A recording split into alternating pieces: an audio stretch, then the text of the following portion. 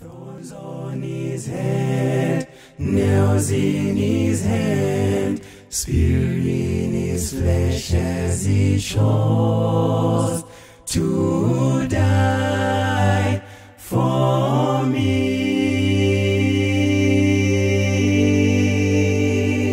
He had the power to free himself,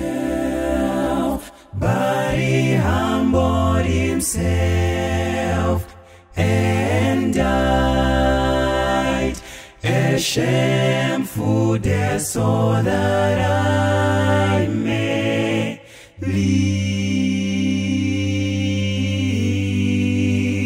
So then why should you die